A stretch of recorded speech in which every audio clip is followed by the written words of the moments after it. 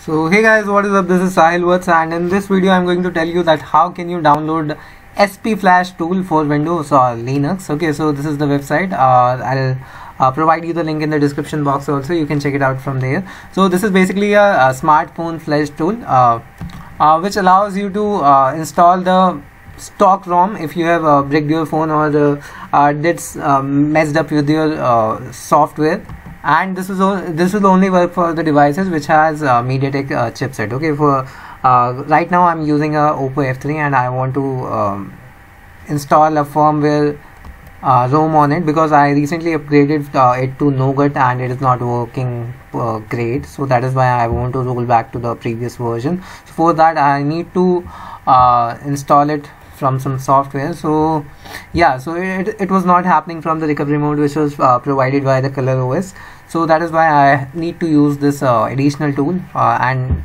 i'm going to try out with the uh, windows method. Okay so uh, this is the sp tool. I have already told you what is the use of this. And uh, yeah so these are the features that it can flash stock rom or flash recovery okay uh, memory test parameter setting and it can also format um, hard reset your devices okay. So these are the version every version which is uh, provided over here and this is the latest one okay. So you can download the latest one as i'll download it over here.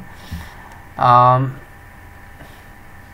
and here comes the here comes the if you want to um, download from google drive or mediafire you can click over here. And if you want to directly download just click on this and it will uh, get downloaded over here.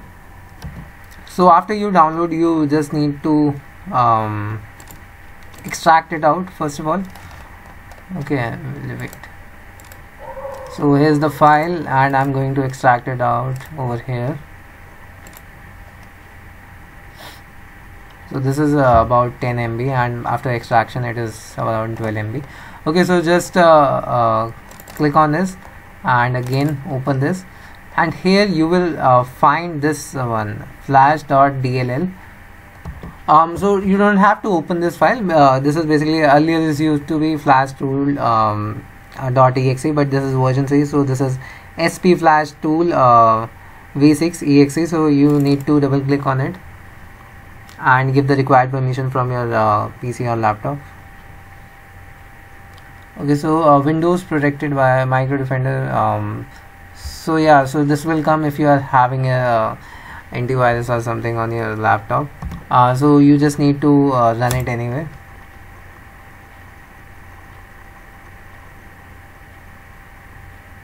And after that you can see that your uh, SPFT tool is uh, running perfectly. Now in the next video I'll tell you that how can you install a ROM uh, a firmware ROM from this software. So that was all for this video. I'll meet you in the next video. Till then goodbye. Take care